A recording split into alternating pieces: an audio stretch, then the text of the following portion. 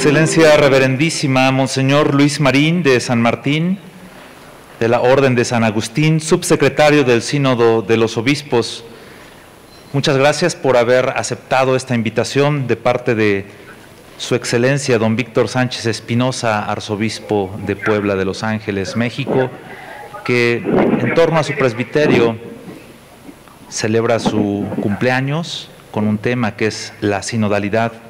Agradecemos mucho a usted que nos comparta este tiempo para explicarnos las claves para comprender el sínodo que estamos viviendo, al cual ha convocado el Papa Francisco. Me permito presentarlo, Excelencia, ante este presbiterio de la Arquidiócesis de Puebla de Los Ángeles, México. Su Excelencia Monseñor Luis Marín de San Martín, de la Orden de San Agustín, nace en Madrid el 21 de agosto de 1961. Sus votos temporales en la Orden de San Agustín los realizó el 5 de septiembre de 1982 y los votos solemnes el día 1 de noviembre de 1985. Fue ordenado presbítero en Madrid el 4 de junio de 1988 por Monseñor Francisco José Pérez y Fernández Golfín, obispo auxiliar de Madrid. Él pertenece a la provincia agustiniana de San Juan de Sahagún, en España. Dentro de sus actividades pastorales, estuvo adscrito a la parroquia Nuestra Señora de la Vid de San Sebastián de los Reyes en Madrid, fue párroco insolidum de las parroquias de la zona de Montejo de la Sierra en Madrid, párroco de la parroquia de Santana y La Esperanza también en Madrid. Ha impartido numerosos retiros y ejercicios espirituales a religiosos y laicos. También ejercicios espirituales y cursos de formación permanente para el clero. Ha desarrollado una amplia actividad pastoral con los laicos. Dentro de su recorrido académico, él realizó el bachillerato en teología en la Universidad Pontificia de Comillas, en el Estudio Teológico Agustiniano en Tagaste, en Madrid, en el 88, licenciado en teología con especialidad en teología espiritual, también en la Universidad de Comillas en el año 90, licenciado en teología en especialidad de teología dogmática en la Pontificia Universidad Gregoriana en Roma en el año 1992, doctor en teología por la Universidad Pontificia en comillas Madrid en el 98, con defensa de la tesis en 1995. Tiene un diplomado en archivística en la Escuela Vaticana de Paleografía, Diplomática y Archivística en el Vaticano en el año 2011. Su docencia como profesor ordinario la ha realizado en el Estudio Teológico Agustiniano en Tagaste, en Los Negrales y en el Instituto Teológico Escurialense en San Lorenzo de El Escorial. También tiene actividad en el Centro Teológico de San Agustín en San Lorenzo de El Escorial y responsabilidades en el Estudio Teológico Agustiniano de Tagaste. Dentro de sus publicaciones encontramos 13 libros y 44 artículos en diferentes revistas y colecciones. Ha impartido más de 144 cursos, conferencias y congresos a nivel mundial. Excelencia, es un honor contar con su presencia a través de esta plataforma Zoom que nos permite el contacto desde la ciudad de Roma hasta esta ciudad de Puebla de Los Ángeles, sede episcopal de la arquidiócesis. Bienvenido el presbiterio, su excelencia don Víctor Sánchez Espinosa, arzobispo de esta iglesia particular, el obispo auxiliar don Tomás y López Durán y el presbiterio lo escuchan. Bienvenido. Recording in progress. Muy bien, muchas gracias. Muchas gracias por esta, esta acogida y la invitación. Mi agradecimiento a mis hermanos en el episcopado, especialmente a Monseñor Víctor Sánchez, a Monseñor eh, Tomás, a todos los sacerdotes que ponen el presbiterio de la Arquidiócesis de Puebla de Los Ángeles. Muchas felicidades por todo el trabajo que llevan adelante durante todos estos años por la, tarea apostólica. Por mi parte, bueno, eh, gracias por toda esta presentación. Yo fundamentalmente podría decirles que soy un hermano, un hermano que camina, que camina con ustedes, con el pueblo de Dios, en el pueblo de Dios, un hermano que ama profundamente a la Iglesia y que desea en la medida de lo posible y de mi fragilidad, pues ser instrumento de la gracia en este momento histórico que estamos viviendo en la Iglesia.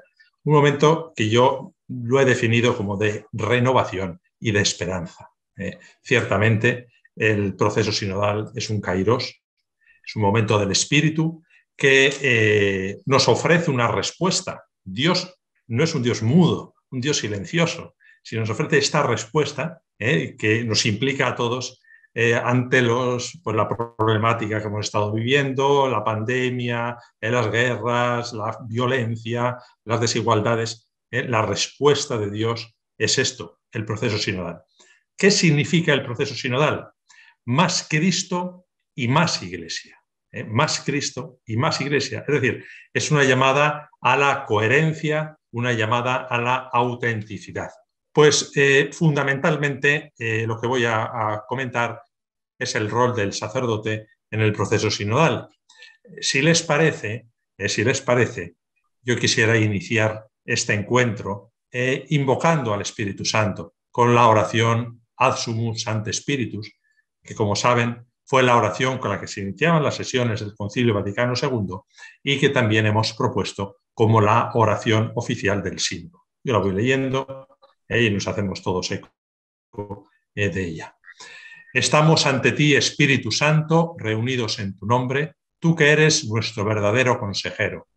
Ven a nosotros, apóyanos, entra en nuestros corazones, enséñanos el camino, muéstranos cómo alcanzar la meta, impide que perdamos el rumbo como perdón personas débiles y pecadoras. No permitas que la ignorancia nos lleve por falsos caminos. Concédenos el don del discernimiento, para que no nos dejemos que nuestras acciones se guíen por prejuicios y falsas consideraciones. Condúcenos a la unidad en ti, para que no nos desviemos del camino de la verdad y la justicia, sino que en nuestro peregrinaje terrenal nos esforcemos por alcanzar la vida eterna. Esto te lo pedimos a ti, que obras en todo tiempo y lugar, en comunión con el Padre y el Hijo, por los siglos de los siglos. Amén. Bien, pues eh, vamos a, comenzar. Eh, eh, es una síntesis que también lo he ofrecido en otros retiros a sacerdotes y que he intentado pues también mm, concretar en la problemática y en el ambiente, en la espiritualidad de América Latina. creo que es una experiencia común. En primer lugar, hermanos sacerdotes, si quieren profundizar en lo que significa el sínodo, les propongo estos textos básicos, ¿eh? que no son solamente para sacerdotes, sino para cualquier cristiano. Estos son los textos que donde nos dan ¿eh? una idea de lo que es el, proceso sinodal en la mente del Papa Francisco en este momento de la historia. Hay que volver al Concilio Vaticano II, a la espiritualidad, a la eclesiología, a la teología del Concilio Vaticano II una relectura del Concilio Vaticano II, en donde descubriremos su profunda actualidad. Y veremos que hay muchos aspectos todavía no suficientemente desarrollados después de 60 años. Concilio Vaticano II, todo el concilio, yo les propongo, todo el concilio, pero fundamentalmente tres documentos que serían pues, esenciales. Lumen Gentium, Gaudium et PES, las dos constituciones sobre la Iglesia, y el decreto Adyentes, sobre la misión de la Iglesia en el mundo. Estos son tres documentos esenciales que hay que releer y hay que actualizar. Dentro del abundantísima, eh, eh, eh, abundantísimo magisterio del Papa Francisco, estos, son estos son, serían textos básicos. Primero, un texto que ustedes conocen bien, el documento de Aparecida, el documento de Aparecida del CELAM de 2007, donde el cardenal Bergoglio es el presidente de la Comisión de Relación. Y, yo, pues releyendo eh, Aparecida, ahí encontramos las claves de este momento de la historia y de la eclesiología actual. Encontramos eh, muchas líneas, muchas puertas, eh, muchos puntos que después se han desarrollado. Volvamos al documento de Aparecida, esencial. Ya dentro del magisterio de Francisco, la exhortación apostólica Evangelii Gaudium es imprescindible. Es el documento programático del pontificado podemos considerarlo documento programático del pontificado de 2013, en la exhortación apostólica Evangelii Gaudium. Y curiosamente, entre paréntesis, vean cómo muchos documentos de Francisco hacen referencia a la alegría. Amoris Leticia, Evangelii Gaudium, Gaudet et exultate. ¿eh? La alegría como en el trasfondo ¿eh? de, la, de la fe cristiana. Bien, también tenemos la encíclica Fratelli Tutti, la encíclica Fratelli Tutti de 2020, la última encíclica del Papa, donde Papa Francisco amplía el punto de vista.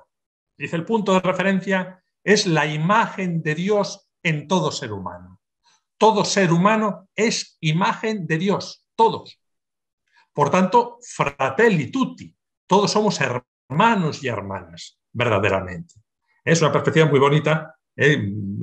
y esto tiene unas consecuencias pues, políticas, sociales, eh, económicas, eh, interreligiosas, de diálogo interreligioso. La encíclica Fratelli Tutti. Y después yo les propongo tres, tres discursos, eh, tres discursos mm, breves, pero muy interesantes. El primero es el discurso con motivo de los 50 años del Sínodo de los Obispos, de la institución del Sínodo de los Obispos, el del 17 del 10 de 2015. Es un, un documento donde vamos a encontrar también las claves de lo que es el proceso sinodal, ¿eh? la renovación que propone Francisco para la Iglesia y la visión de la sinodalidad ¿eh? como propuesta para la Iglesia del tercer milenio. Tenemos un discurso muy interesante porque es muy creativo, tiene eh, al estilo de Francisco pues propuestas muy densas, muy directas, de mucho impacto que es el discurso a los fieles de Roma, de la diócesis de Roma, del 18 de septiembre de 2021. Eh, habla, pues el Espíritu Santo les necesita, eh, sin Espíritu no hay sínodo, el tema de, los márgenes. Eh, les propongo una relectura de este documento. Y por último, el discurso de Francisco al inicio del proceso sinodal, el día 9 eh, de octubre del 21, con el que se abrió este proceso sinodal y también la humildad del día siguiente. De la Secretaría del Sínodo tenemos el documento preparatorio que ya conocen, el Bademecum y otros documentos que pueden ir surgiendo. Yo les hago referencia a una hermosa carta, eh, que ya la conocerán, que se ha enviado de manera conjunta por parte del secretario general del Sínodo, el cardenal Mario Greg, y el prefecto de la congregación del clero, eh, su excelencia eh, Lázaro Jung. Eh, se publicó y se envió a todos los sacerdotes del mundo eh, el día 19 de marzo, el día de San José, 19 de marzo, ya la conocen. Es una carta breve, pero muy bonita, dirigida a los sacerdotes, proponiendo y explicando lo que es el proceso sinodal, algunas claves y algunas dificultades. Bien, y luego otros documentos, pues tienen el precioso documento de la Comisión Teológica Internacional sobre la sinodalidad en la vida y en la misión de la Iglesia de 2018. Un buen documento, un buen estudio eh, que les propongo su lectura. Estos son los textos básicos para, para, conocer la sinodalidad y para comprender la, sinodalidad. Bien, por tanto, todo el proceso sinodal parte y desarrolla la eclesiología del Vaticano II. Eh.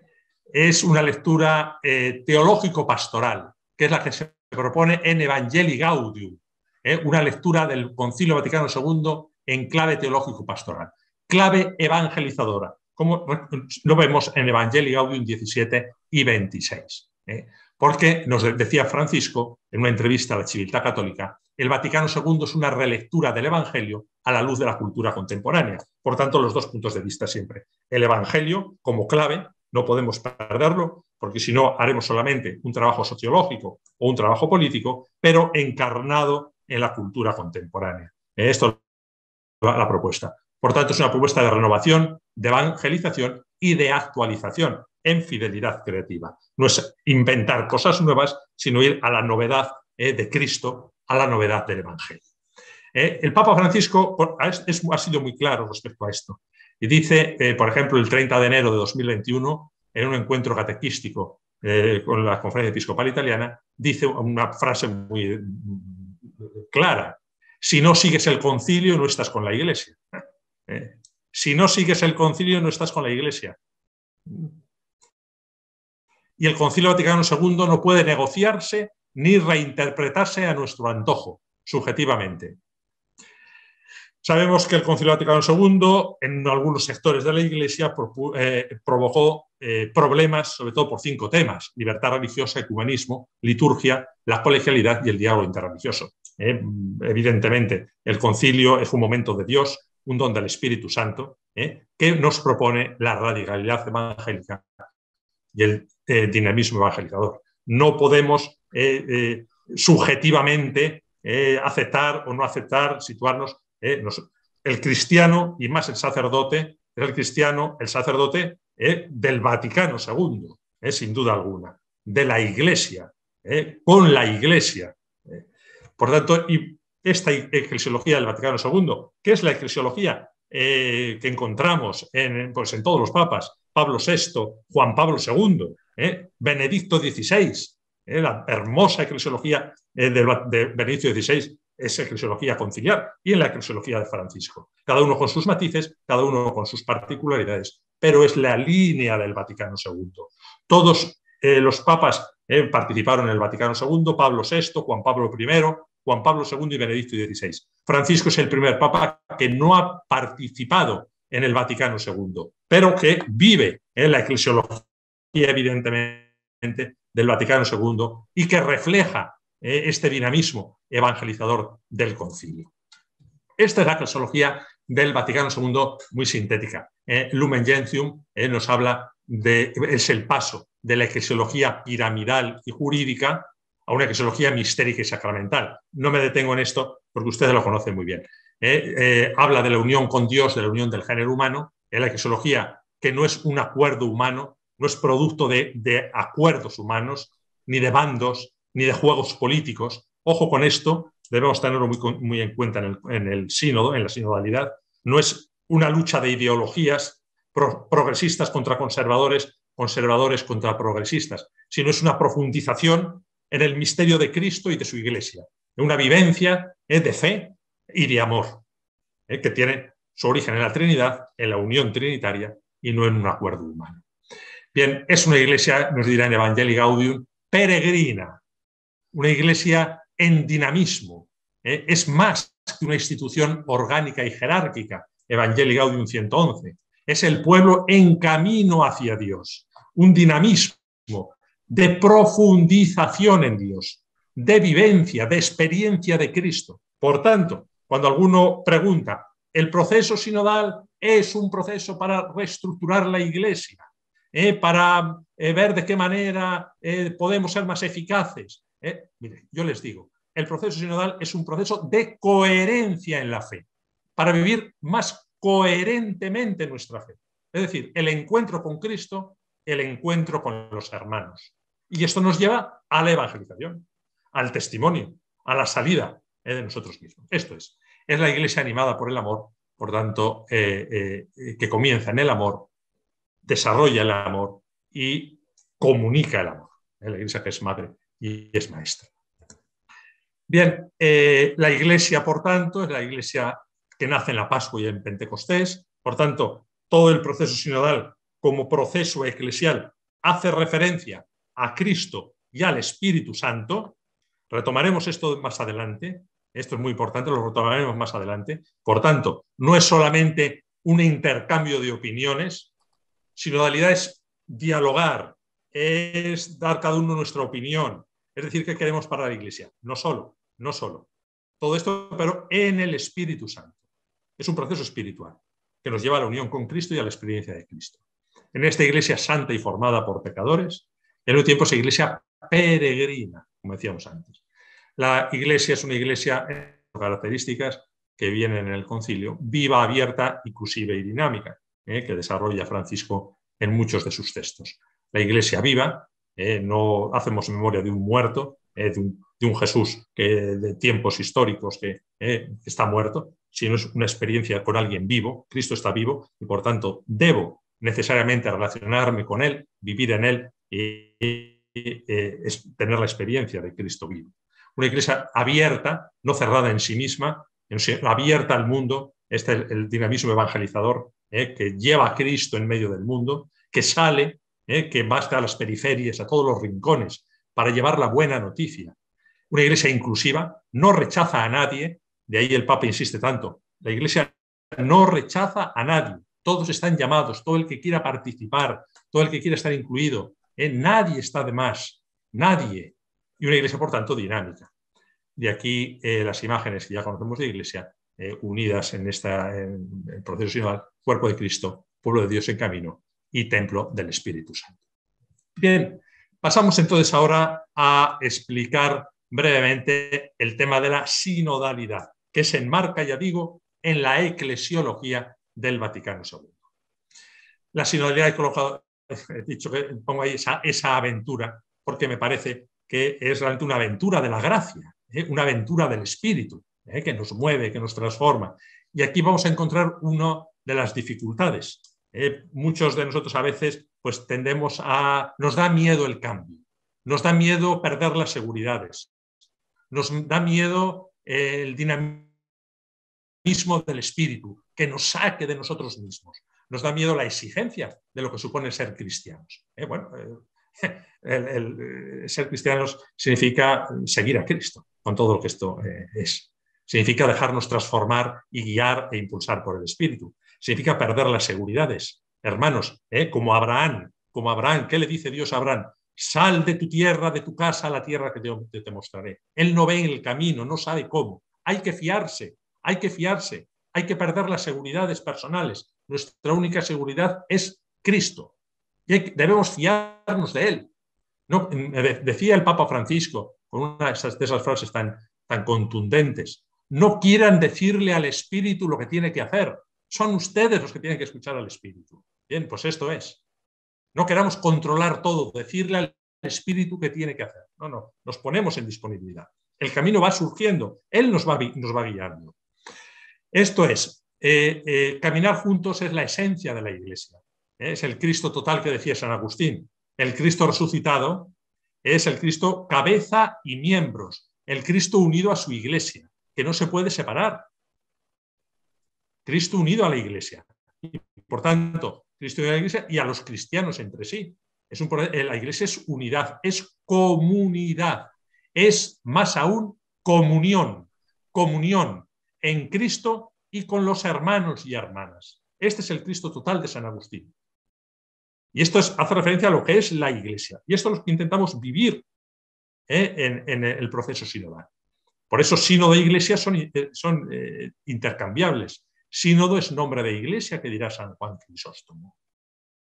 ¿Eh? Y en esto vemos la eh, diferencia entre sínodo y sinodalidad. Sinodalidad es caminar juntos, es vivir ese, esa presencia ¿eh? de Cristo en nosotros que nos hace miembros de su cuerpo.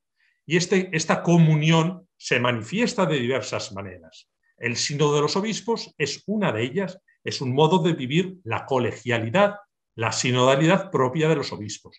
Pero hay otras muchas formas en los consejos pastorales, el consejo presbiteral, consejos económicos, el cabildo de, los canónigos, en los capítulos de los religiosos. Hay muchas maneras de vivir este, proceso sinodal. ¿eh? Luego veremos algo de esto. Es caminar juntos, caminar en el espíritu, por tanto, en disponibilidad y corresponsabilidad desde la escucha al espíritu para poder discernir y el Espíritu habla en el pueblo de Dios. Ahora lo vamos a ver. Y esto nos lleva a un dinamismo comunitario. Por tanto, es caminar en renovación y esperanza, en radicalidad, en comunión y buscando un testimonio evangelizador. ¿eh? Por eso, el sacerdote en la iglesia sinodal. ¿eh? Eh, decía San Juan Crisóstomo que sínodo es nombre de iglesia. Y esta sinodalidad nos lleva a la comunión. Yo creo que uno de los retos que tenemos en nuestra iglesia y en nuestro mundo es potenciar en algunos casos incluso recuperar la comunidad, la comunión, comenzando por las parroquias. En cuántos lugares la comunidad cristiana no se conoce. Decimos en nuestras homilías, queridos hermanos y hermanas, y no es verdad, porque no los conocemos. Daos fraternalmente la paz. No somos, somos indiferentes. No conozco al que tengo al lado. No es mi hermano. Hay que recuperar el sentido comunitario, el sentido de comunidad cristiana, el sentido de familia de Dios, que es la Iglesia. Esto lleva evidentemente a una participación. De lo que el Papa dice, luchar contra el clericalismo. ¿Eh? Cada uno según su carisma. No se trata, otro problema, alguien me dice, no, entonces, ¿qué se trata? ¿Un régimen eh, asambleario, un régimen eh, democrático en la Iglesia? No, no se trata de diluir los carismas y las vocaciones. El obispo debe ser obispo, debe servir a la Iglesia como obispo, porque si no, no la sirve según el carisma suscitado, la vocación suscitada por el Espíritu. El presbítero como presbítero y el laico como laico. Es una vocación. La vocación laical no es, el laico no es aquel que no tiene ninguna vocación. No, tiene una vocación laical y debe participar y ser corresponsable en la iglesia. No clericalizándose, ¿eh? no clericalizándose, sino como laico, poniendo en comunión todo, poniéndonos todos en comunión, caminando juntos. Este es el reto. ¿Para qué? Para la misión, para la misión compartida, de ser testigos de Cristo en nuestro mundo. Es llegar, llevar la alegría del Evangelio a nuestro mundo. Esto sería. ¿eh? Por eso el Papa en, Evangelii Gaudium propone tres modelos de iglesia, dos dicen eh, falsos, erróneos, y un tercero que es su propuesta ¿eh? para este proceso sinodal. El, el, erróneo, el primero es la pirámide. pensar es el error del sacerdote que se constituye en pequeño rey, en un pequeño jefe de su parroquia. Yo soy el jefe supremo, estoy en la cúspide. O el obispo que se piensa que es el rey en su diócesis. No, no, todos estamos en el mismo nivel. No somos más importantes unos que otros. ¿eh? Por si no enseguida vendrá la lucha por el poder, por ser más importantes, por mandar más, mandar más. Hermanos, no hemos venido a mandar. ¿eh? Esto sí lo digo muy claro. ¿eh? No hemos venido a mandar. Quien venga pensando que es una cuestión de poder, se equivoca. Hemos venido a servir, a servir al pueblo de Dios. Es un servicio, un servicio que debo ejercer. Por tanto, el modelo de la pirámide jerárquica, eh, de poder, clerical, es un error, dice el Papa. Pero no podemos pasar a otro modelo, que sería el otro, el otro extremo, la esfera. El sacerdote que se diluye, bueno, lo que digan, un régimen asambleario, yo soy uno más, ¿no? eres uno más evidentemente, pero el sacerdote, el párroco es párroco, el obispo es obispo. Para discernir, para tomar sus decisiones, no puede hacerlo sin prescindiendo del pueblo de Dios. Debe escuchar al pueblo de Dios, pero luego deberá él tomar su decisión. Es decir, no, no puede sino escuchar, discernir en y desde el pueblo de Dios para luego servirlo tomando sus decisiones. ¿Eh? No puede diluirse. Por eso el Papa propone la, imagen del poliedro. El sacerdote es en Cristo y desde Cristo. ¿Eh? Es una vocación específica, en y desde el pueblo de Dios. Nos decía el Papa, no digan vamos a consultar al pueblo de Dios, identificando el pueblo de Dios con los laicos. No, ustedes son también pueblo de Dios. ¿Eh? El obispo es pueblo de Dios, con una vocación específica. El sacerdote es pueblo de Dios, el laico es pueblo de Dios, con vocaciones distintas, pero juntos, al mismo nivel todos. Nos ayudamos unos a otros, nos enriquecemos unos a otros, caminamos juntos como iglesia. Entonces, eh, por eso el proceso sinodal no es solo una, una cuestión de estructuras. Eh, podemos tener la tentación decir, bueno, pues eh, a ver de qué manera nos estructuramos mejor, un cambio de estructuras. No es cuestión de estructuras, sino del ser de la Iglesia, de coherencia. Es una cuestión de autenticidad. ¿Eh? es decir, la sinodalidad afecta al ser de la iglesia, a lo que la iglesia es, a todo lo que la iglesia es. Toda la iglesia es sinodal, no es un añadido, pertenece al ser de la iglesia. Por tanto, es recuperar y profundizar en la esencia de la iglesia.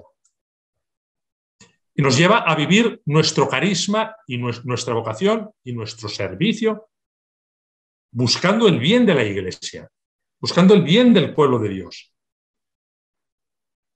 Y no es nunca, esto vuelvo a repetir, un sistema de repartirnos el poder, sino del de servicio, de servir. Este sería el cambio que queremos. Entonces, un paso más, el proceso sinodal. El proceso sinodal eh, no se trata, esto ha sido un, un error a veces que hemos tenido, ¿no? Es decir, estamos preparando el sínodo de los obispos. Esto es un proceso de, para preparar el sínodo de los obispos. No, hermanos, no es solo esto. Esto es ya sínodo, no es una preparación. Por eso debemos distinguir entre sinodalidad, que afecta a toda la iglesia, toda la iglesia es sinodal, y sínodo de los obispos, que es un modo ¿eh? de vivir la sinodalidad propia de los obispos y de desarrollar la sinodalidad propia de los obispos. ¿eh? Entonces la sinodalidad afecta a todo lo que es iglesia. Mi parroquia es iglesia, mi familia es iglesia, mi grupo es iglesia. Pues si es iglesia, debe ser sinodal. Y debe vivir la sinodalidad, el caminar juntos. ¿eh? El caminar juntos. Que se manifestará en diversas estructuras que habrá que revisar. Las estructuras deben, deben funcionar. Y si no, se podrán crear otras, crearemos otras, veremos de qué manera. Un consejo pastoral que no funcione es absurdo. ¿Eh? Habrá que hacerlo funcionar. Podemos crear otras estructuras también, veremos. Pero sobre todo para vivir nuestra realidad como iglesia. Entonces, la sinodalidad pertenece a la esencia de la iglesia, es decir, al ser de la iglesia, al ser de la iglesia, todo lo que es iglesia debe ser sinodal, al hacer de la iglesia y al estilo. Alguno me decía, pues habrá mucho, hay mucho que cambiar. Bueno, pues no sé, pues habrá que ir cambiando, tendremos que ir bien. ¿eh? Pero este, y el proceso sinodal no termina nunca. Monseñor, entonces ahora termina, ahora eh, con la fase diocesana terminamos en agosto, o termina con el sínodo de los obispos. Hermano, el proceso sinodal hace referencia a la iglesia, siempre y en todo lo que, existe, lo que sea iglesia. Y siempre que exista la iglesia, será sinodal y existirá la sinodalidad. Existía la iglesia de los primeros tiempos, ha existido siempre, a lo mejor con otros nombres, ¿eh? o no está eh, el término sinodal, ¿eh? pero la realidad ha existido siempre. Es la, no se inventa nada, no es una invención. La iglesia es sinodal siempre. Por eso no termina nunca este proceso. Y es un evento espiritual. Por eso les decía antes, espiritual entendido del Espíritu Santo. No se trata de reunirnos para dialogar, para hablar, para repartirnos eh, eh, las estructuras o cambiar cosas. Es para escuchar al Espíritu Santo, es decir, para discernir. Por eso es importante la dimensión orante. Y aquí nos hemos encontrado con un problema a veces. Eh, a la hora de desarrollar el proceso sinodal, que nos cuesta mucho hacer oración comunitaria. Lo más que hacemos es leer juntos textos, oraciones ya hechas, o hacer eh, por coros, o pero rezar, hacer oración desde el corazón en unión de almas, en unión de corazones, nos cuesta mucho. Pues habrá que recuperar esto, como las primeras comunidades. La dimensión orante del proceso sinodal. Si no hay oración, no hay dimensión orante, no hay sínodo. Habrá un reparto de poder, habrá un cambio de estructuras, habrá una reflexión teológica, habrá un, proceso sociológico eh, de, diálogo, pero no habrá sido escucha del espíritu. Y esto es imprescindible desde la dimensión orante, la importancia de la dimensión orante. Y aquí, por último, la importancia que tiene el sínodo en la iglesia particular. Todo el proceso parte desde abajo. Debe empapar, empapar, permear todo lo que es iglesia todo lo que es iglesia. La importancia que tiene el sínodo en la iglesia particular, en conexión con la iglesia universal. ¿Eh? En conexión con la iglesia universal. Evidentemente, es la iglesia particular donde eh, eh, se desarrolla y se vive en la sinodalidad eclesial, siempre en conexión con la Iglesia universal, enriqueciendo a toda la Iglesia y dejándonos enriquecer por ella. El rol del sacerdote, bueno, yo esto sí me voy rápido porque esto ya lo conocen. El rol del sacerdote, como nos dice el Papa muy bellamente, el sacerdote se sitúa en medio, delante y detrás. En el pueblo de Dios nos referimos. Decíamos antes, el sacerdote no se separa eh, del pueblo de Dios, se sube a una atalaya y dice lo que hay que hacer o hace una consulta. No.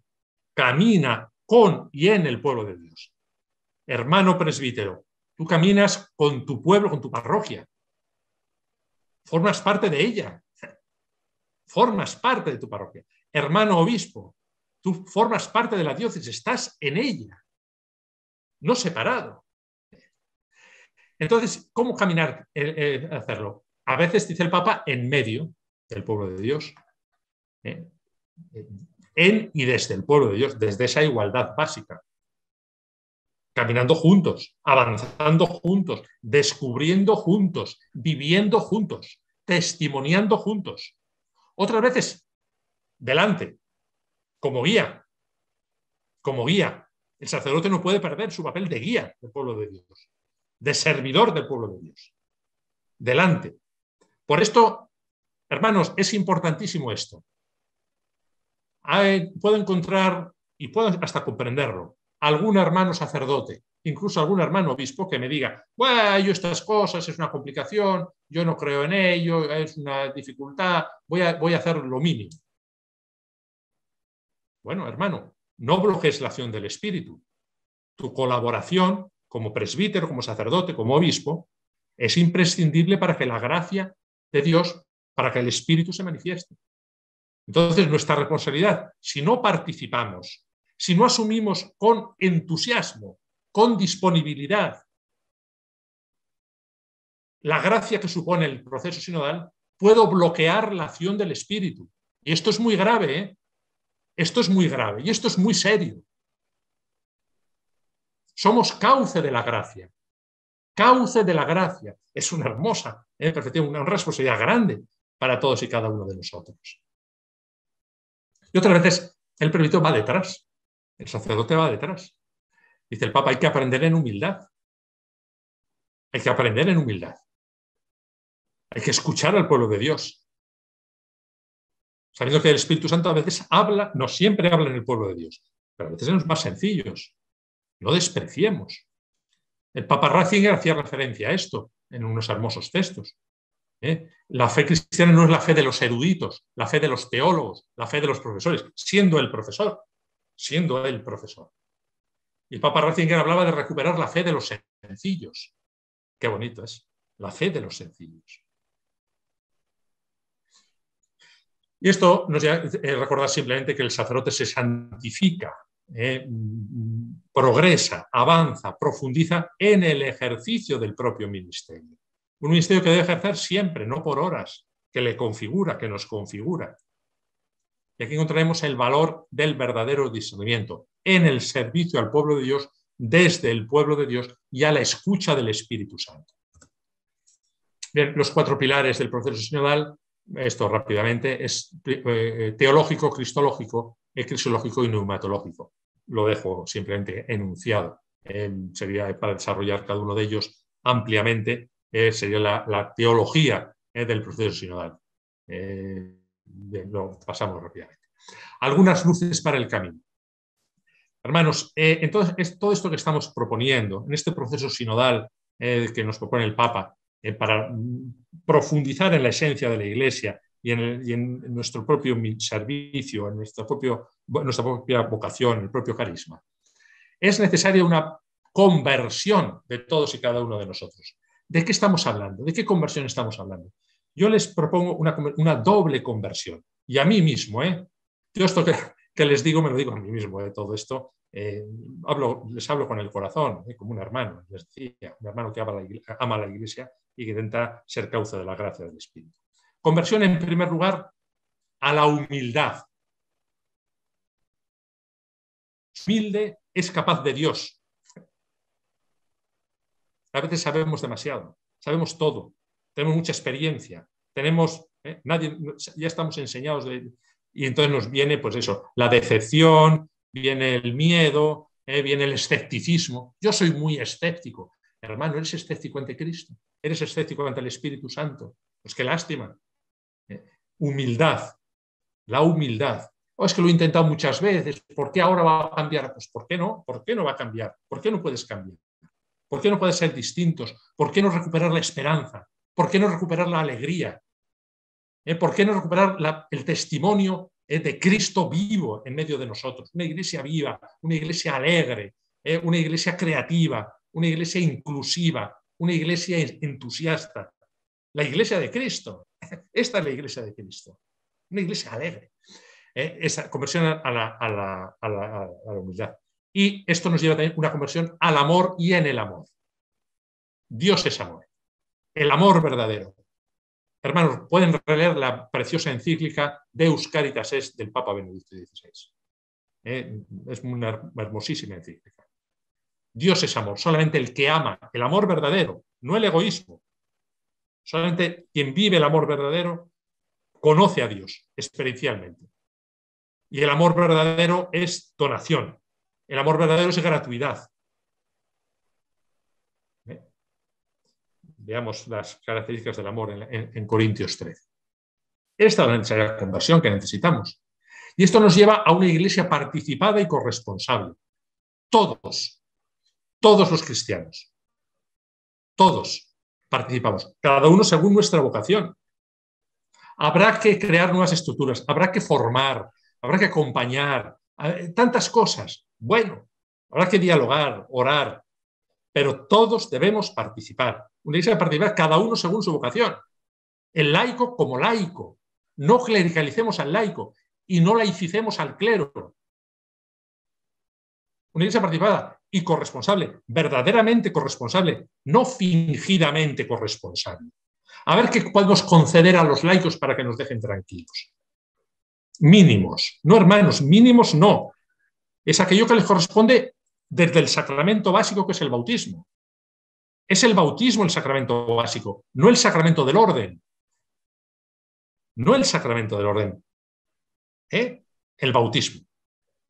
Porque nos incorpora a Cristo y nos hace corresponsables con Cristo y en Cristo. Por eso es la iglesia de la inclusión y de la misericordia. La iglesia no rechaza a nadie, eh, Jesucristo Cristo no, viene, no trae la salvación para todos, menos para tal grupo, menos para este, estos sectores, ¿no? A todos. La iglesia es de la, inclusión. No rechacemos a nadie, no expulsemos a nadie, hay que incluirles, hay que escucharles.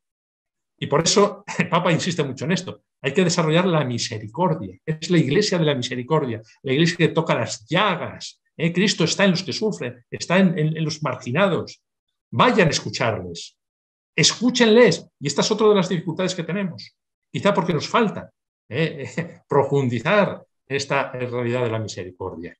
La iglesia inclusiva.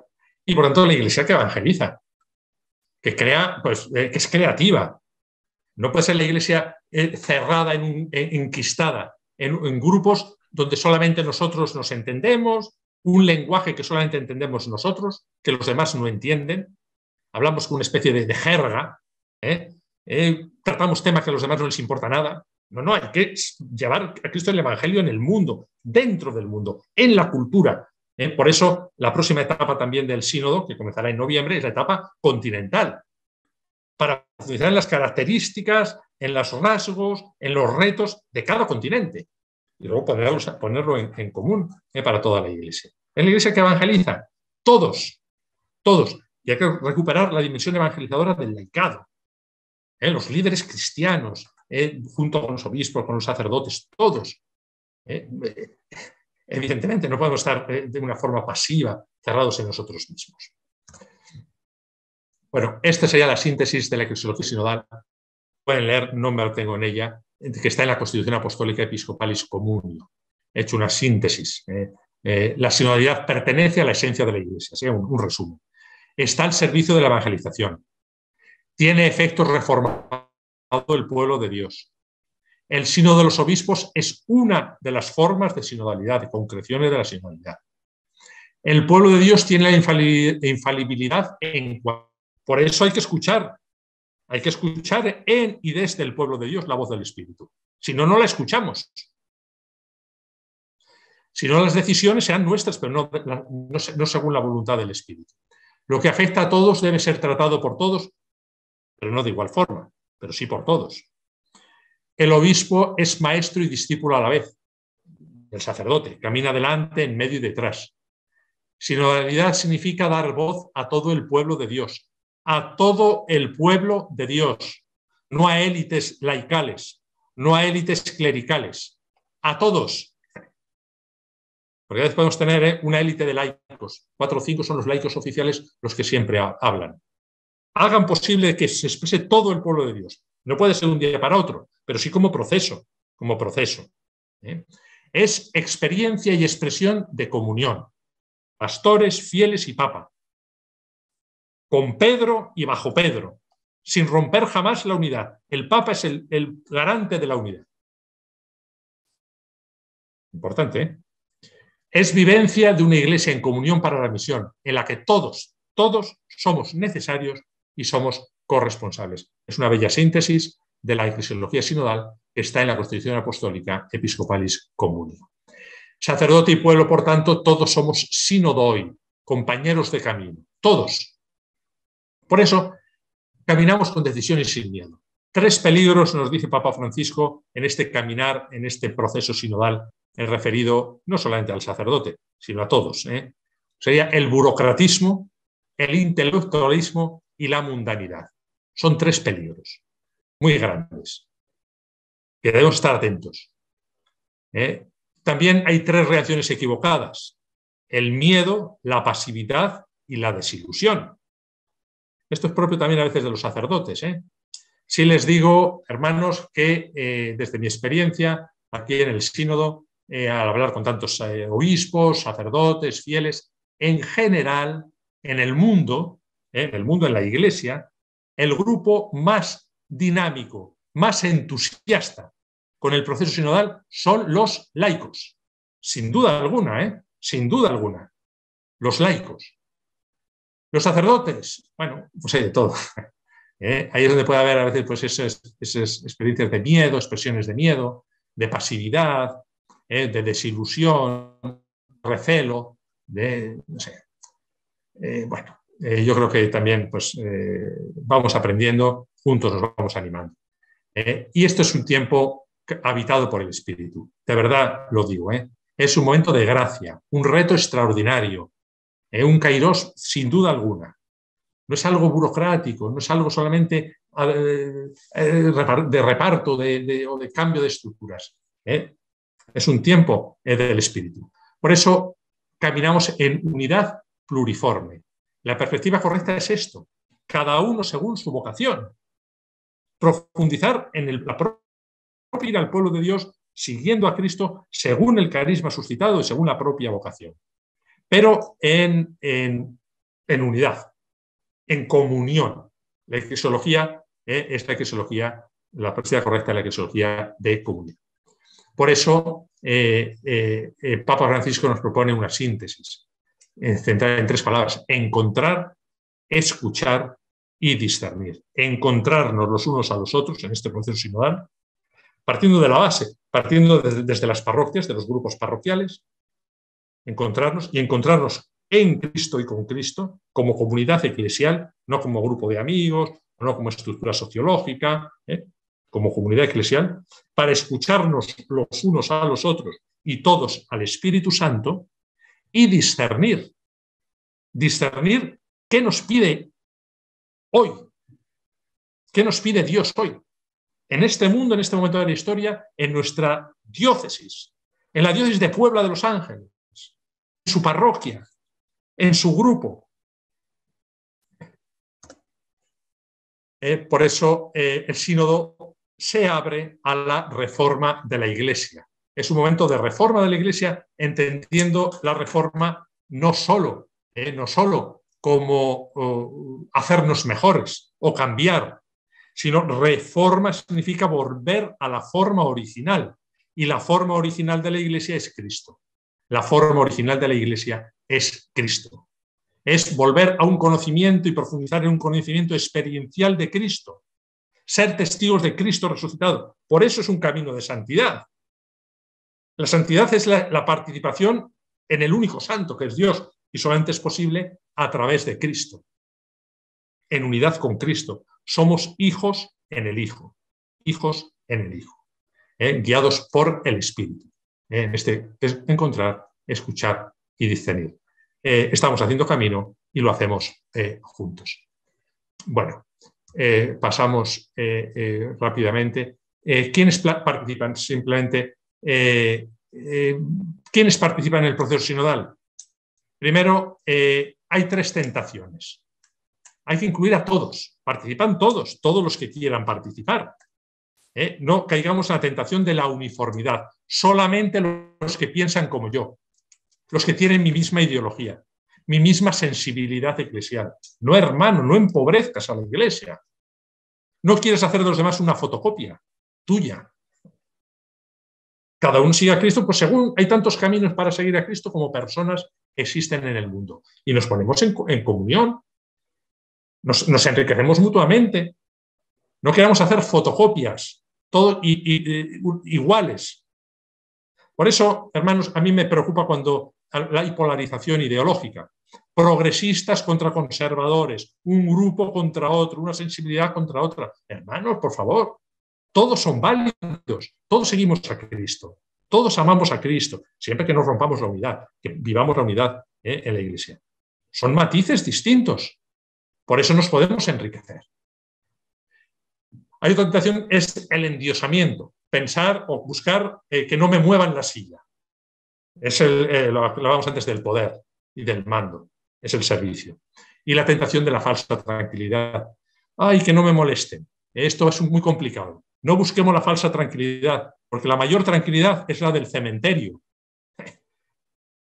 Estamos muertos. Bien, participación de los márgenes, de los excluidos. ¿Eh? hay que generar cauces de implicación y hay que intentar que sea un proceso que perdure, que sea creativo. Abrirnos a los márgenes, nos dice el Papa, no esperen que los demás vengan a ustedes, vayan ustedes, salgan como iglesia, salgan a las periferias existenciales, a los márgenes, que es difícil, que a veces no les gusta lo que van a escuchar, no importa. ¿eh? Por eso deben estar unidos, por eso debe ser un proceso orante ¿eh? En la diversidad de carismas y vocaciones, desde el santo pueblo del pueblo fiel de Dios que vive en multiplicidad de carismas.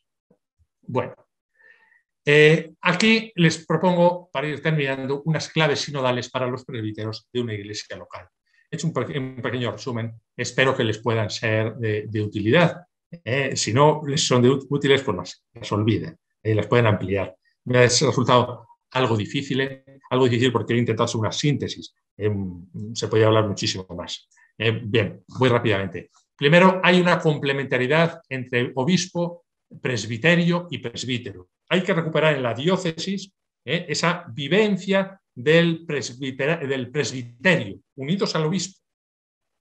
Obispo, presbiterio, presbítero. Esa complementariedad es un tema que yo les propongo a desarrollar ¿eh? y a vivir y a considerar. No sé cómo estará en, su diócesis, pero se puede profundizar mucho más seguro en todo esta vivencia. Que realmente sea una vivencia de presbiterio unido al obispo.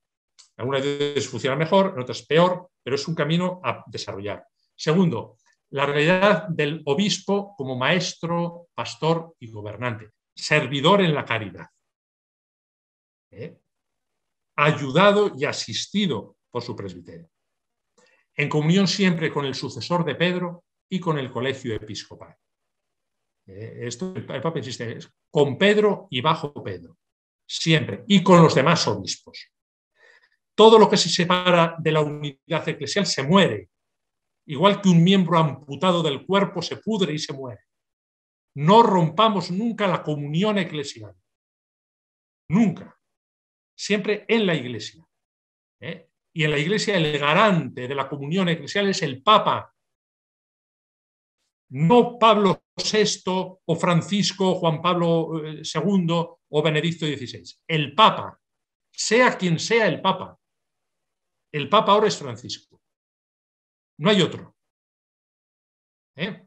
Recuerdo lo que decía San Juan Bosco a sus jóvenes. Cuando decía, no, no griten, no griten viva, viva, León, viva León XIII o viva Pío IX. Griten siempre viva el Papa. Viva el Papa. Siempre el Papa. El Papa es garante de la unidad. No si me gusta o si no me gusta. Con Pedro y bajo Pedro. En unidad eh, eh, la Iglesia. Hay, una, hay que eh, promover y potenciar también la unidad sacramental de los presbíteros con el obispo. Todos participan del sacerdocio de Cristo. Por tanto, esto es un camino que quizá ya se ha desarrollado en la Iglesia mucho, pero yo creo, a mi modo de ver, que debemos seguir profundizando en él y desarrollándolo. Pasar del individualismo, del presbítero como tal, al cuerpo, ¿eh? al cuerpo presbiteral, ¿eh? que reflejo y evidencia del cuerpo eclesial. ¿eh? Es una hermosa teología, una hermosa eclesiología. Esto es, unidad sacramental de los presbíteros con el obispo. También en el sentido de que el obispo es el interior, en el interior y centro de su presbiterado. Y los presbíteros como colaboradores, ni el obispo monárquico eh, ni los sacerdotes individualistas. Con el obispo en el interior y centro de su presbiterado y los presbíteros como sus colaboradores, eh, pero realmente. Unidad sacramental de los presbíteros con el obispo. Tercer, tercer rasgo, una misma misión. Una misma misión. ¿Eh? en la diócesis. Qué hermoso es, como se ha desarrollado mucho, los planes pastorales, eh, dialogados, compartidos. Y esto si lo abrimos a la escucha del pueblo de Dios, eh, con los laicos, pues nos da una iglesia viva, una iglesia renovada. Por eso hay que pasar del clero diocesano al presbiterio diocesano como estructura esencial del servicio. Y siempre, siempre el bautismo como punto fundamental de referencia. El sacerdocio común. El sacerdocio ministerial es un servicio al pueblo de Dios. ¿Eh? pero es desde el pueblo de Dios y en el pueblo de Dios. El bautismo es el sacramento básico. Eh, eh, por eso vamos terminando el sacerdote ante algunos problemas y obstáculos sinodales. Anímicos, bueno, decía antes el temor, temor a que, al no saber, a no controlar, miedo a desilusionarnos, las prisas. No tengan prisa, ¿eh? Eh, vivan el proceso sinodal con alegría, no tengan miedo, el Espíritu Santo nos ayuda, nos asiste, nos acompaña, no estamos solos, no estamos solos, es un momento de gracia. No tengan miedo, igual que los discípulos salieron del cenáculo el día de Pentecostés renovados, sin miedo a las exigencias. El Señor nos ayuda, el Señor nos da. Es un camino de felicidad, es un camino de felicidad. En la medida que nos donamos y que nos damos, vivimos la felicidad. Se nos pide todo porque se nos da todo. Esto es la clave siempre el amor. Hay problemas prácticos. La sobrecarga, que es un, hay un añadido. Se va a discutir de todo. ¿eh? ¿Vamos a perder eh, lo que es la función eh, sacerdotal? No, no, no. El sacerdote seguirá siendo siempre sacerdote.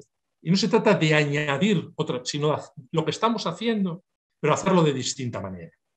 No es discutir de todo, sino discernir la voz del Espíritu juntos como iglesia, como pueblo de Dios. Por eso la propuesta es más Cristo, que les decía al principio, y más iglesia, más Cristo y más iglesia, potenciar la dimensión espiritual del Espíritu Santo y siempre tres verbos. El obispo con sus presbíteros, el presbítero con los fieles de su parroquia, los eh, responsables de los grupos diocesanos o parroquiales con el resto del pueblo de Dios. Tres verbos. Informar, Hermanos, hay que informar, hay que formar y debemos acompañar. Informar, formar y acompañar. ¿eh? Esta es la propuesta, siempre. ¿eh? No tengamos.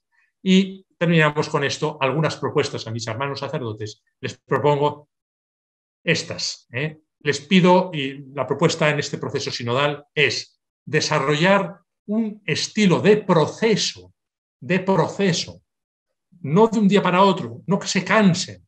hay que iniciar un proceso que no termina nunca, un proceso ¿eh? para implicar a todo el pueblo de Dios. Empezamos por los más cercanos, pero nos abrimos a los más lejanos también. Hay que ir implicando a cuantas más personas mejor, escuchando, formando y acompañando. escuchar, formar y acompañar. Segundo, asumamos la unidad en la diversidad, la unidad que decíamos antes. No rompamos la unidad en la diversidad, no en el uniformismo.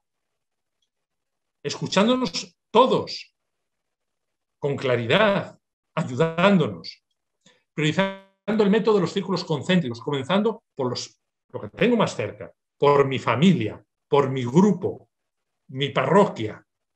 ¿eh? Vamos ampliando, pero que vivir intensamente aquello que más me implica. Usemos el diálogo y la oración, los dos. La oración es imprescindible. Si no, no podremos discernir. Y aquí tenemos un gran déficit, un gran déficit. Nos cuesta profundizar y desarrollar la dimensión orante. ¿No? O no sabemos, o nos cuesta mucho, nos da vergüenza, o no es en Cristo. ¿eh? Bueno, pues ahí tenemos un, eh, ámbito para desarrollar. Y en el diálogo, diálogo espiritual, en el Espíritu, escuchando al, Espíritu Santo y hablando desde el corazón, aportando nuestra luz, buscando siempre el bien de la Iglesia. El bien de la Iglesia, de la parroquia, de la diócesis, ¿eh? de la Iglesia. Diálogo. Favorezcamos la Iglesia profética. Qué miedo nos da a veces. Somos, estamos muy asentados en las seguridades. La Iglesia profética, la Iglesia que sale, la iglesia que no tiene seguridades, la única seguridad es Cristo. Por eso es la iglesia de la misericordia y de la solidaridad. La iglesia que promueve la fraternidad. La iglesia que cuida la casa común. La iglesia que, del diálogo interreligioso. La iglesia que no rechaza a nadie. La iglesia que busca lo bueno. La iglesia que es luz. La iglesia que presenta la verdad del Evangelio y no tanto la condena eh, de los errores y que sobre todo eh, obra en todo desde el, desde el amor. No es la iglesia del bastón del palo, la iglesia de Cristo, del amor, de la misericordia, de la ayuda. Si corrige, será siempre por amor y desde el amor. No desde arriba, sino dentro. Bueno, la iglesia profética. Y saben que los rasgos del profeta son tres. ¿eh? Pasión por la verdad, pasión por la verdad unión íntima con Dios y disponibilidad para entregar la propia vida. Los rasgos del profeta. Todos nosotros debemos ser profetas. La iglesia es profética. Potenciemos la interrelación, ¿eh? la interrelación desde esa universidad y la unidad, pero debemos estar mucho más interrelacionados, mucho más interconectados. Este está siendo un problema también. Eh, funcionamos mucho desde el localismo, ¿eh? desde los pequeños grupos separados, en las mismas parroquias, a veces grupos que no se encuentran nunca, más la interrelación. Respetar lo diferente, la transversalidad. Y por eso el intercambio debe ser abierto, debe ser respetuoso y enriquecedor. No para escuchar lo que queremos eh, o no, expresarnos por miedos o no sabemos o solamente a ver si me van. Un diálogo abierto, como en una familia, respetuoso y enriquecedor. En una diócesis tiene que ser así, en una parroquia, en la iglesia. El Papa nos dice, esto debe ser también en la iglesia universal. Y desarrollemos la capacidad de perseverancia y de espera. Estamos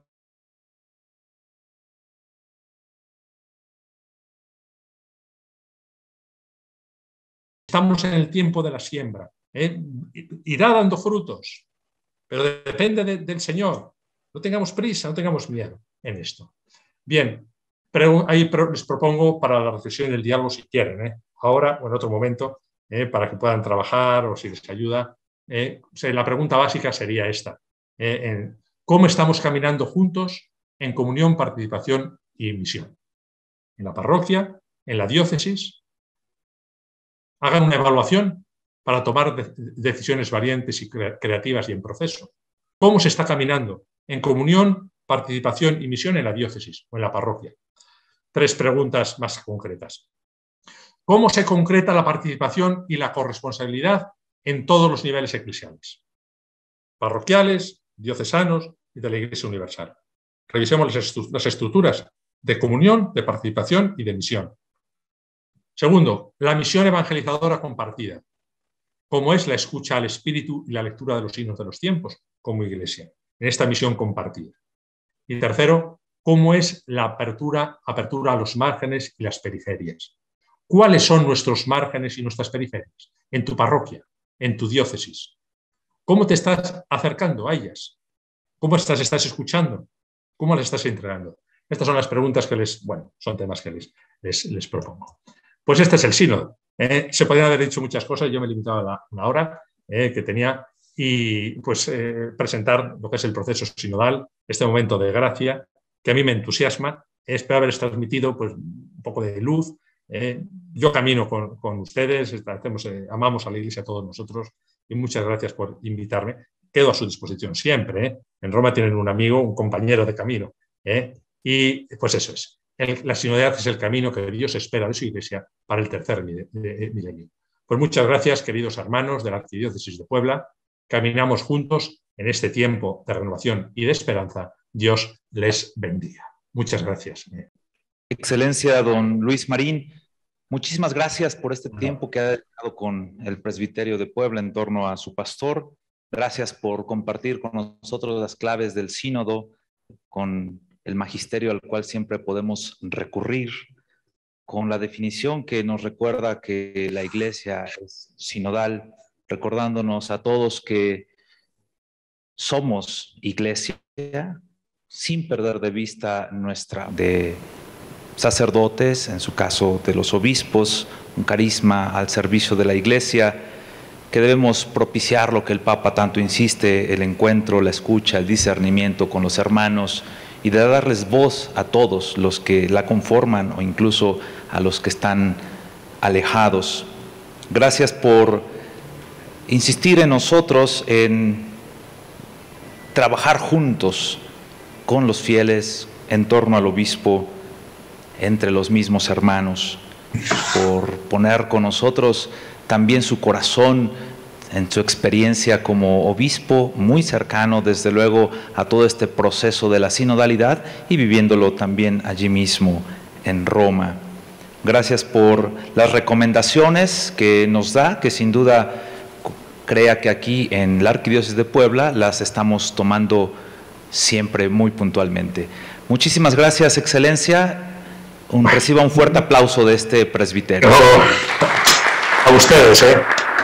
A ustedes, muchas gracias. Muchas gracias, hermanos. Muchas gracias. Dios les, Dios les bendiga. ¿eh? Gracias a ustedes. Yo solamente dos cosas, ¿eh? antes de terminar. Agradecer muchísimo este rato. Ahí les veo, veo a todos los hermanos, hermanos ahí ¿eh? que están presentes. Especialmente agradezco a Monseñor Víctor, a Monseñor Tomás. Decirles primero una cosa, que en Roma tienen un amigo, tienen un hermano. ¿eh? Si estoy a su disposición. ¿eh? Realmente estamos para ayudar en la Secretaría del Sínodo, todos los colaboradores del Sínodo, todo lo que estamos trabajando allí. Segundo, pedirles por favor eh, oraciones, recen por nosotros, porque la tarea es enorme. Y a veces digo, pues, ¿cómo voy a hacer yo? ¿Cómo vamos a poder llevar adelante esta misión? con la ayuda de mis hermanos, eh, recen por nosotros. Eh, sobre todo nos encontramos en la Eucaristía, en, este, el sacramento de la unidad, sacramento que nos configura como iglesia. Y vamos adelante en este proceso hermoso. Eh, gracias por todo lo que están haciendo. Muchas gracias, seguimos adelante y, Dios les bendiga a todos.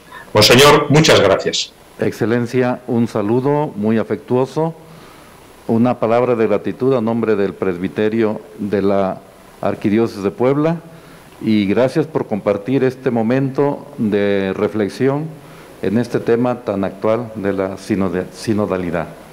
Un saludo también al padre Ariel, que fue el conducto por el que pudimos contactarlo a usted y pedirle este servicio. Un abrazo, Dios lo bendiga y gracias por todo su servicio a la iglesia. muchas gracias. A usted, querido hermano, muchas gracias. ¿eh? Muchas gracias y un saludo. Dios les bendiga. Dios bendiga a la diócesis de Puebla de Los Ángeles. En el corazón están. Adiós. Muchas gracias.